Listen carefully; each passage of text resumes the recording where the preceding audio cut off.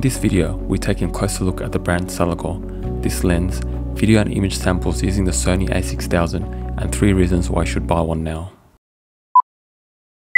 Soligor, cameras and lenses for the man who wants quality, but would rather not pay the usual price. Now personally, I find this guy very relatable. Soligor was a photography equipment supplier best known for its third-party lenses, its modern-day equivalent being Sigma or Tamron. From 1956, AIC started using the Soligor brand name. It gained sales success in the late 60s to about the early 90s, until it filed for bankruptcy around 2011. Soligor had a comprehensive catalogue. Just like Sigma and Tamron today, these third-party lenses were a great alternative to the OEM by offering good optical quality at reasonable prices. Looking at their marketing at the time, there was a common theme of putting emphasis on, hey, can you see a difference between these two photos? No? Well, buy our lens because it's more affordable. I love this honest advertising. In 5 or 10 years time, there might be something better. Like other photography equipment suppliers at the time, such as Vivitar, Soligor was all about marketing, while it commissioned its lenses from Japan. The company worked with manufacturers such as Kawanon, Kobori, Komine, Sun Optical, Tamron, and Tokina. But wait, there's more. Soligor lenses were sold under alternative brand names in different countries, the only difference being in appearance and branding. Although the Soligor brand name left us in 2011, its name still remains in our hearts and in Facebook Marketplace as very affordable lenses. The 85 to 205 Soligor macro zoom lens with f-stop of 3.8. This lens is huge by all standards, measuring in at 9.5 inches fully extended, weighing in at 792 grams. I was unable to locate exact official documentation about this lens, but this is the closest I've found. It's a total can of worms to figure out who the actual manufacturer of this lens was. I'll leave all references below in the description for anyone willing to further investigate. My particular sample is the M42 mount, so here I've got the M42 to NEX or E-mount adapter to fit my Sony a6000. F-stop ranges from 3.8 to 22. The zooming mechanism is contained within the body of the lens, justifying its length. The focusing function causes the lens to extend or retract.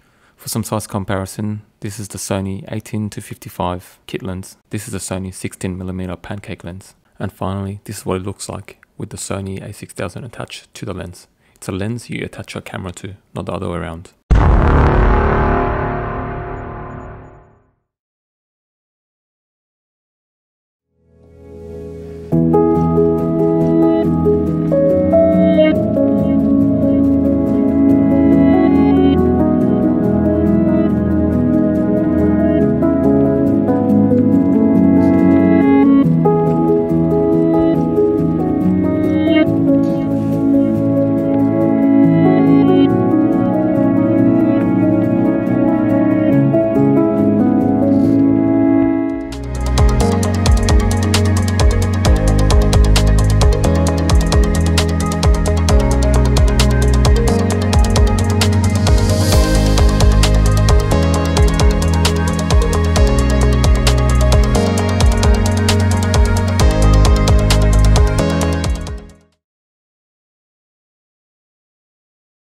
Photography is a fun and interesting hobby, but bringing a manual lens into the picture adds another layer of challenge to it.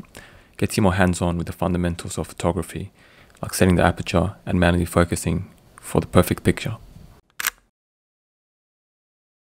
The old glass and optical imperfections result in chromatic aberration, where the lens fails to focus all colors to the same point. This adds character and a vibe to the photos. These photos from one view has a retro look. They also look like they have more of a story to tell compared to modern auto lenses. Lenses are very affordable and accessible. In 2021, prices on Facebook Marketplace start from $40. I would watch out for lenses with fungus, dust, and scratches. Adopting and using one of these lenses will give them another cycle of life, stopping them from ending up in landfills.